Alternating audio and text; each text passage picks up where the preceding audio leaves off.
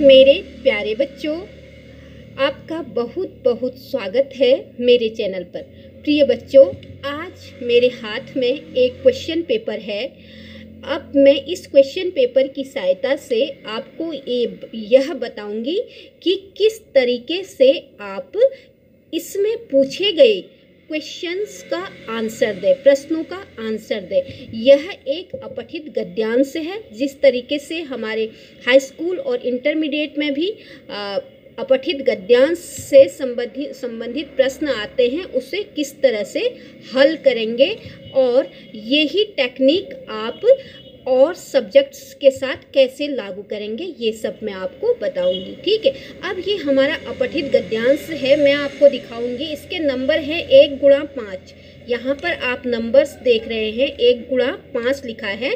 तो इसका एक गुणा पाँच का अर्थ क्या होता है, ये भी मैं आपको समझाऊँगी। देखिए, अब अपठित गद्यांश है हमारा, जीवन के प्रत्येक क्षेत्र में मनुष्य में विवेक आवश्यक है। विवेक विवेक नहीं है, विवेक है, विवेक विवेक व्यक्ति को विचारशील, सहनशील, धीर और साहसी बनाता है। विवेक से सभी प्रकार के सुख प्राप्त होते हैं, संपत्ति की प्राप्ति होती है, विवेक के बिना दुख और विपत्ति की प्राप्ति होती है।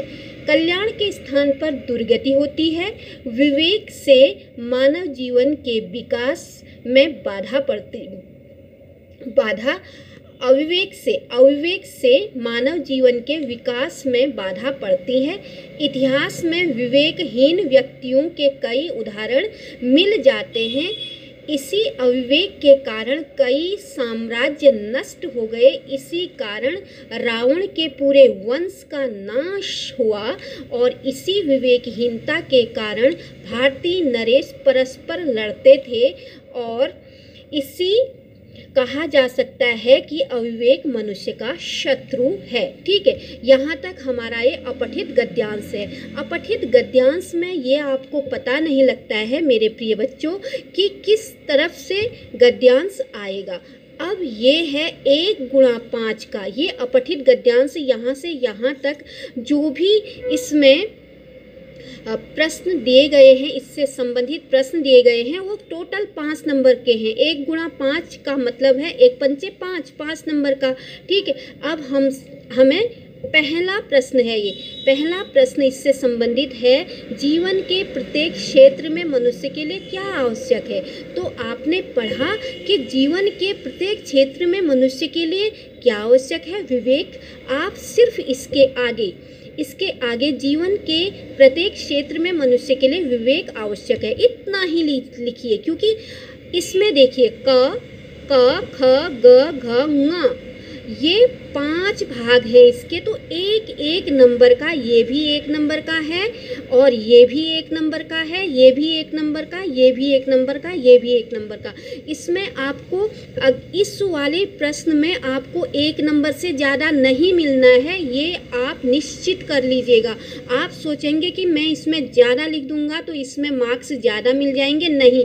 आपको स्पष्ट बताया गया है कि एक गुणा पाँच, यानी इस गद्यांश से पाँच प्रश्न पूछे गए हैं। एक एक नंबर के हैं। सिर्फ़ इसमें इतना ही लिखिएगा कि प्रत्येक क्षेत्र में मनुष्य के लिए विवेक आवश्यक है। अब इतना मैंने आपको हल करा दिया। और ऐसे ही जो है, और भी गद्यांश जो आपके आते हैं, अपठित गद्यांश, उनको हल कीजिएगा। और एक नंबर के प्रश्न में सिर्फ़ इतना ही लीजिए, लिखिएगा हर सब्जेक्ट में, ठीक है? अब मनुष्य विवेक से मनुष्य को क्या प्राप्त होता है? अब देखिएगा, विवेक से मनुष्य को क्या प्राप्त होता है? सीधे दिया गया है, विवेक से मनुष्य को सभी प्रकार के सुख प्राप्त होते हैं। क्या प्राप्त होते हैं? अब आप ये मत लिखिएगा कि विवेक व्यक्ति के विचारशील, सहनशील बनाता है, क्या बनाता है, नहीं पूछा गया है यहाँ पर। ध्यान दीजिए, सबसे पहले प्रश्न को देखिए। अब प्रश्न की क्या यहाँ पर आवश्यकता है? और आप क्वेश्चन की रिक्वायरमेंट देखिए कि क्वेश्चन क्या मांग रहा है। हमारा क्वेश्चन मांग रहा है कि विवेक से मनुष्य को क्या प्राप्त होता है। ये नहीं कि विवेक से क्या बनता है मनुष्य, या विवेक मनुष्य को क्या बनाता है नहीं मांग रहा है। क्या प्राप्त होता है तो सीधे आप लिखिए, विवेक से मनुष्य को सुख प्राप्त होता है, ठीक? अब नेक्स्ट क्वेश्चन पर आपको लिए चलती हूँ। मानव जीवन के विकास में बाधा किससे आती है?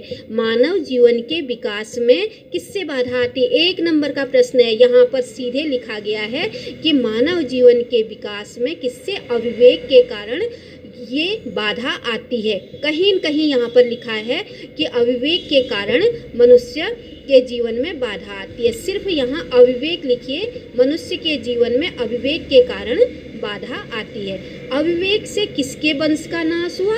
सीधे लिखा है, अविवेक से इसी अविवेक के कारण कई साम्राज्य नष्ट हो गए, ये मत लिखिएगा, ठीक है? अब सीधे आपको बिल्कुल पिन पॉइंट, बिल्कुल एक एक चीज़ पर, एक पॉइंट पर ये क्वेश्चन जो है, आपको रखा गया है कि किसके वंश का नाश हुआ। सीधे आप लिखेंगे, रावण के पूरे वंश का नाश हुआ या अविवेक के कारण रावण के वंश का नाश हुआ। एक नंबर में, ठीक? भारतीय नरेश परस्पर क्यों लड़ते रहे? अब जरा सा अभी तक तो आपको फटाफट क्वेश्चन मिल गए, ठीक है?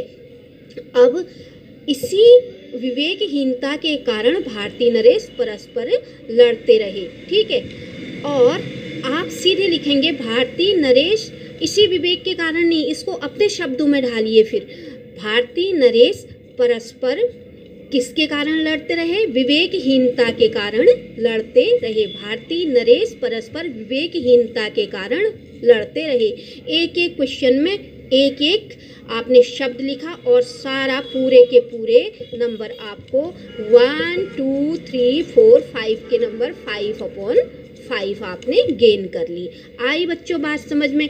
ऐसे आपको क्वेश्चन पेपर सॉल्व करना है। ये एग्ज़ाम्पल था। मेरा ज़रूरी नहीं कि यही गद्यांश आपको आए। आप गद्यांश की, पद्यांश की जो है प्रैक्टिस कीजिएगा, ठीक है? प्रैक्टिस करने से आप जो है परफेक्ट हो जाते हैं। और ये मेरा आपको एक एग्ज़ाम्पल के थ्रू समझाना था कि आप कैसे लिखेंगे। आपको बार बार आपके कमेंट्स आ रहे हैं कि मैम हम कैसे लिखेंगे? तो ऐसे लिखेंगे आप, ठीक? आया मेरे प्रिय बच्चों बात समझ में? तो वीडियो कैसा लगा? आप कमेंट कीजिएगा। अगर कोई परेशानी है, तब भी कमेंट कीजिएगा। मेरे प्यारे बच्चों, स्वस्थ रहो सबसे पहले और खूब मेहनत करो, सफल बनो। जय हिंद, जय भारत।